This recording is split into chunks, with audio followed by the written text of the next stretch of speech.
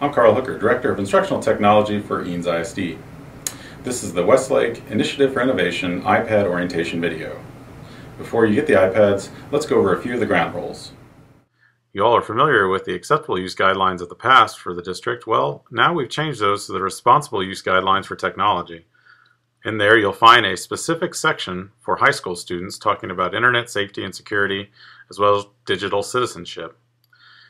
We want you to care and love for your iPad, and we also encourage you to personalize it. But please remember that this is a learning tool provided to you by the district.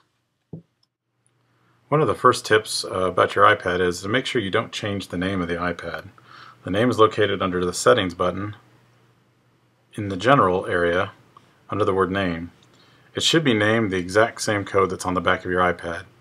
This is what allows you to get apps from us uh, and also helps us whenever you have a lost or stolen iPad.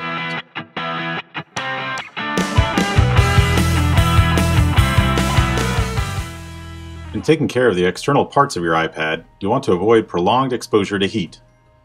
That could come from being inside a car on a hot day, or in this case, a barbecue grill. If you want to clean your iPad, please use a dry cloth or shirt sleeve. Do not spray your iPad with water or chemical cleaner. And please do not submerge your entire iPad under water we are going to do a very Many iPad breaks happen because of a stumble on the stairs or getting knocked off the edge of a desk. Uh, you want to avoid dropping your iPad at all costs, and certainly don't try to do like this guy is doing and drop it from a 60 foot lift. What happens? 60 feet, all clear. All right, that definitely does not look good. Take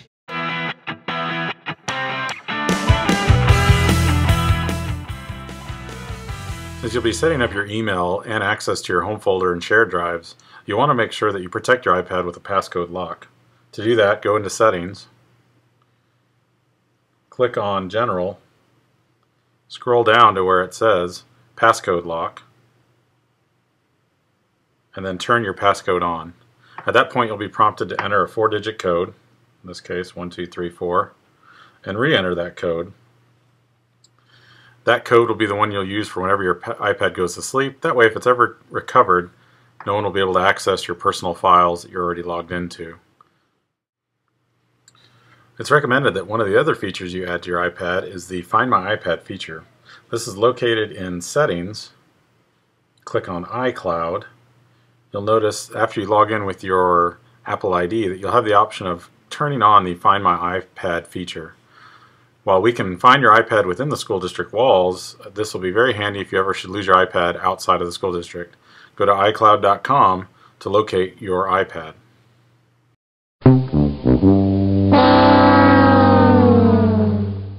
Should the unfortunate happen and your iPad is damaged, you want to immediately take it to the juice bar, which is located in the Westlake High School library. Upon receipt of this, your iPad will be assessed for damages and whether or not you've received or paid for insurance will determine the amount that you owe at that time. Once you've paid that, you will receive a replacement iPad.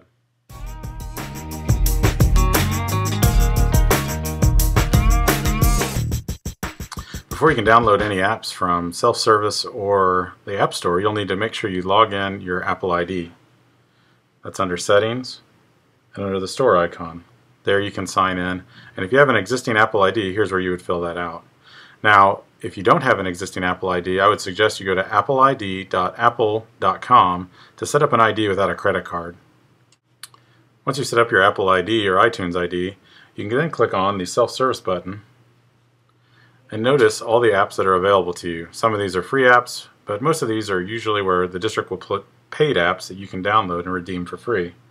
I'm going to click on the iMovie app here and I see I'm given an option to actually install it. It gives you a little overview of what the app is and then you have an install button. And so you'd click on that to install the app and download it. At that point you'll be asked for your ID and then the download will begin. You get a warning like this. Tells you you will not be charged for it. You hit install,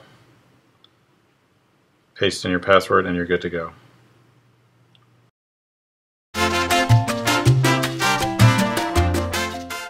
want to take a moment to go over a few of the apps that will help you keep organized.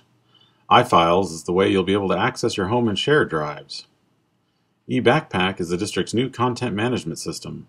This will be the ideal way to collect and turn in work to your teachers from the iPads. All secondary students' courses are already set up in eBackpack. You can log in with your Novell login at eanes.ebackpack.com or download the free eBackpack app. Lastly, we now are on our second year of Eanes using the Gmail mail client. You can set up the mail client on your iPad to receive your Eanes mail.